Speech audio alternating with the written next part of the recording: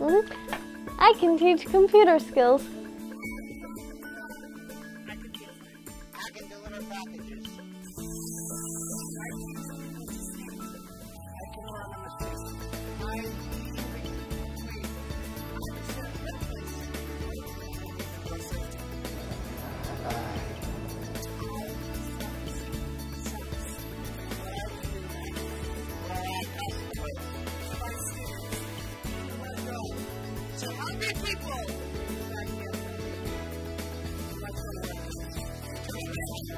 To college applicants,